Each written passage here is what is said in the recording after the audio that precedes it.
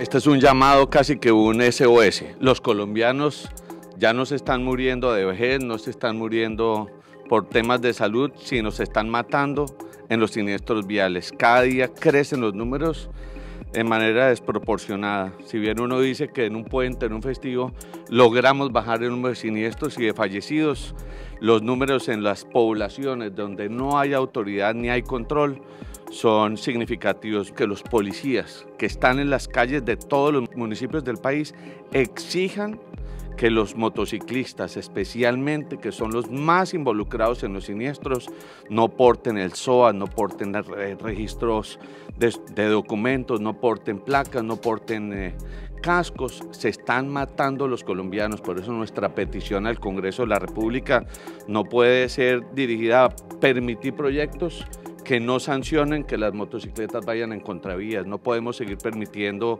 aplicaciones de motocicletas que le hacen daño a la movilidad. Por eso es que aquí se ha establecido que hay que combatir contra la, ilegalidad. Entonces nuestra gran preocupación y allí tenemos cinco normas en el plan de desarrollo más dirigidas a que nuestras políticas de seguridad vial combatan eh, la falta de control, la falta de autoridad y la falta de cámaras que permitan perseguir a quienes están infringiendo las normas en materia de movilidad.